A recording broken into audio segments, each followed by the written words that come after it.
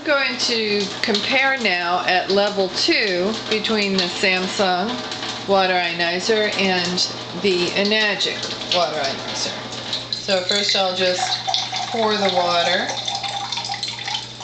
and then I'm going to basically test it. Test it for one and then test it for the other. And I have to find the pH one. All right, oops, turn the water off. And I'm doing these comparison videos as part of a, a whole comparison about the Samsung water ionizer.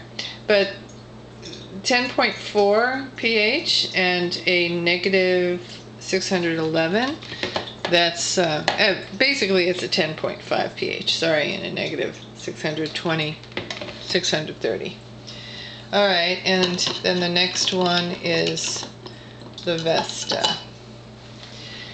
And looks like that is a um,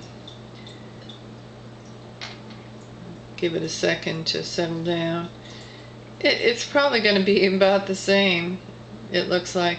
Uh, maybe a little higher ORP is what I'm seeing. A negative 718 ORP with a 10.1 pH.